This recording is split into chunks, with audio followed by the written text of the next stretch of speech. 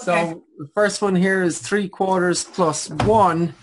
Now we're adding fractions and the trick is to remember that whole numbers are also fractions. So 1 as a fraction can be written 1 over... Over 1. 1, right? Perfect. And now we need to make the common denominator. So we kind of find the lowest common denominator with 4 and 1. Which would be 4. More perfect. Yeah. And so multiply this guy by 4 over 4. And so we have 3 quarters plus 4 quarters.